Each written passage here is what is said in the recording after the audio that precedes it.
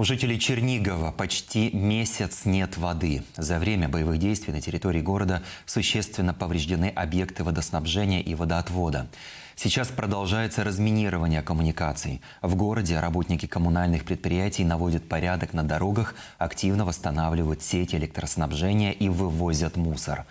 Руководитель Черниговской областной военной администрации Вячеслав Чау сообщил, что сейчас в город будут возвращаться те, кто должен восстановить инфраструктуру. Враг безжалостно бомбил Чернигов, рассказывают местные жители.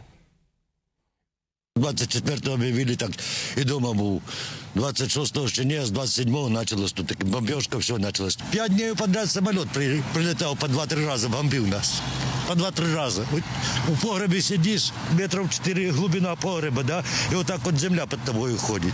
11 числа общежитие начали, он все раз, разбомбили.